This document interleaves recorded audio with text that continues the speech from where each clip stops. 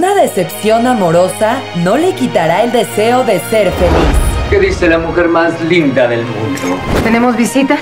Papá. Pero la vida no dejará de ponerla a prueba. Mi segunda madre inicia 21 de mayo a medianoche y 5.15 de la mañana. Solo por telenovelas.